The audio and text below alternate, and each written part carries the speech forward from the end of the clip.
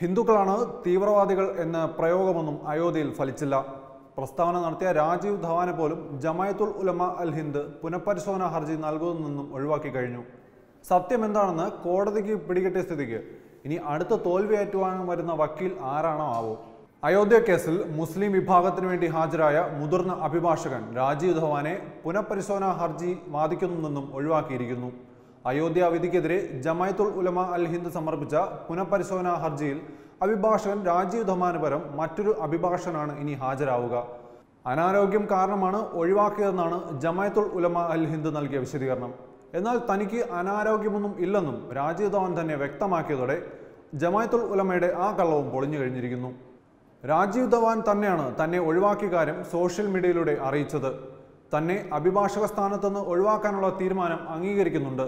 എന്നാൽ ഇതുമായി ബന്ധപ്പെട്ട് പറയുന്ന വിശദീകരണം തെറ്റാണെന്നും അദ്ദേഹം പറയുന്നു. തനിക്ക് അനാരോഗ്യമില്ലെന്നും രാജിധവൻ ധവാൻ തുറന്നടിച്ചു. അയോധ്യയിലെ രാമജന്മഭൂമിയിൽ രാമക്ഷേത്ര നിർമ്മാണത്തിന് അനുമതി നൽകിയ ഭരണഘടനാ ബെഞ്ചിന്റെ വിധിക്കെതിരെ സുപ്രീം കോടതിയിൽ ആദ്യ പുനഃപരിശോധനാ ഹർജി തിങ്കളാഴ്ചയാണ് സമർപ്പിക്കപ്പെട്ടത്. കേസിലെ മുഖ്യ കക്ഷികളിൽ ഒരാളായിരുന്ന അന്തരിച്ച എം സിദ്ദിഖിന്റെ പ്രതിനിധിയും ജമയത്തുൽ ഉലമ അൽ ഹിന്ദ് അധ്യക്ഷനുമായ മൗലാന സയ്യിദ് അഷാദ് റഷീദിയാണ് ഹർജിക്കാരൻ. അഖിലേന്ത്യാ മുസ്ലിം വ്യക്തി നിയമ ബോർഡും വിധിക്കെതിരെ സുപ്രീം കോടതിയെ സമീപിക്കുമെന്ന് പറഞ്ഞിരുന്നു. അതേസമയം കേസിലെ മുഖ്യ കക്ഷികളൊരാളായ U P Sunni central Waqf board പുനഃപരിശോധന ഹർജി നൽകില്ലെന്നും പ്രഖ്യാപിച്ചിട്ടുണ്ട്. നേരത്തെ കോടതി വിധി വന്നതിനു ശേഷം മുസ്ലിങ്ങളല്ല ഹിന്ദുക്കളാണ് തീവ്രവാദികൾ എന്ന് വ്യക്തമായി എന്ന് രാജീവ് ധവാൻ പറഞ്ഞത് വലിയ വിവാദമായിരുന്നു. പ്രതിഷേധമുയർന്നതോടെ ധവാൻ തന്നെ പ്രസ്താവനയിൽ തിരുത്തൽ വരുത്തി.